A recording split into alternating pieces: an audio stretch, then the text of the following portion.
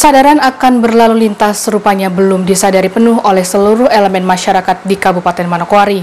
Pasalnya di Jalan Pasir dan Jalan Yosudarso Sanggeng masih terlihat banyak pengendara nakal yang sering melakukan pelanggaran lalu lintas seperti melawan arah dan memutar balik dengan seenaknya. Beginilah situasi dan kondisi arus lalu lintas dalam kota Manokwari khusus menuju di wilayah Jalan Pasir menuju Pasar Sentral Wosi.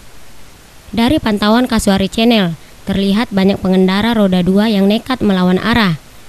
Selain dapat menimbulkan kemacetan, pelanggaran lalu lintas ini juga menyebabkan kemacetan.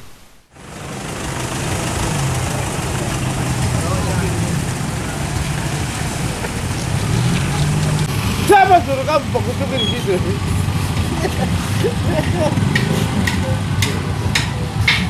ini gara-gara lawan arus ini akhirnya terbalik.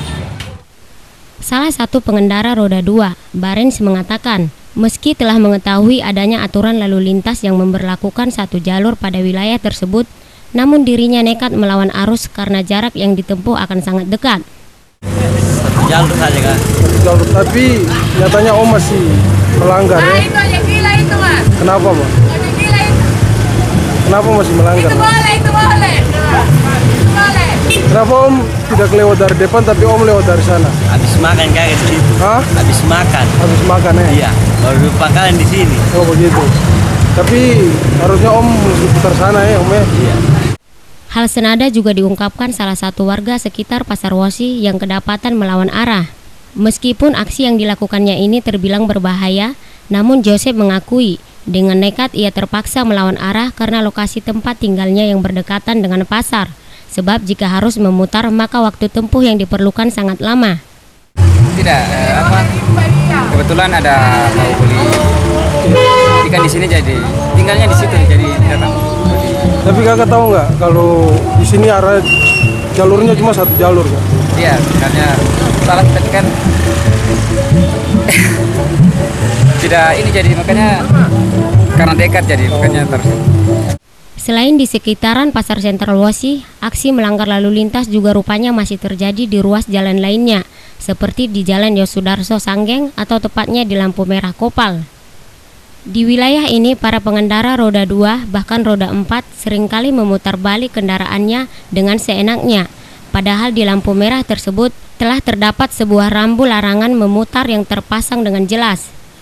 Selain itu, dari pantauan Kasuri Channel, masih banyak pengendara yang berboncengan tiga, tidak menggunakan helm, hingga yang menerobos lampu merah. Padahal jika dicermati wilayah ini berada di pusat jantung kota Manokwari, namun minim penjagaan dari pihak-pihak terkait.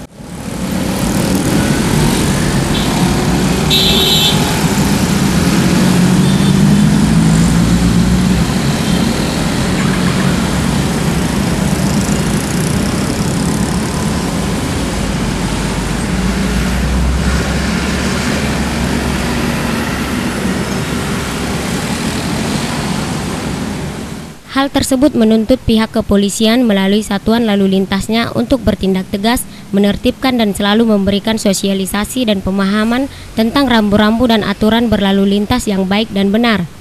Masyarakat juga harus memahami dan meningkatkan kesadarannya agar tidak lagi melanggar rambu-rambu lalu lintas, sehingga bisa terhindar dari kecelakaan. Jeffrey Watimuri, Martinus Mayor mengabarkan.